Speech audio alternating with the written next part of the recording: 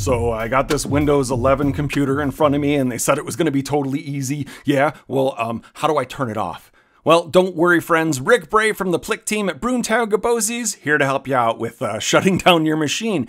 Because while Windows 11 really behaves incredibly similar to Windows 10, for me, the shutdown thing moved a little bit and it, it makes it a little different. But it's there, don't worry, and I'm here to help you out. So let's start off by clicking on that Windows icon, just like we did before. And you'll see that your name appears there as, as whomever you're logged in as. And the power button is now over to the right-hand side.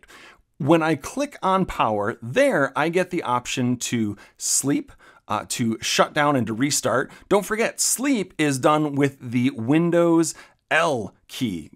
So Windows L is a great move in terms of uh, cybersecurity type things. It, it lock, right, is where the L comes from. It locks your computer when you walk away. So just a real quick Windows L will put it to sleep.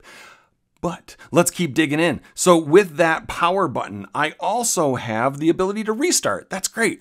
But what if someone's just coming into my room and uh, and they want to sign in real quick? Well, you can click on your picture icon, and that's where I can change account settings if I want to, or probably the one that you're looking for, switch user, where someone else can sign in as me, but I'm not fully signing out of the machine.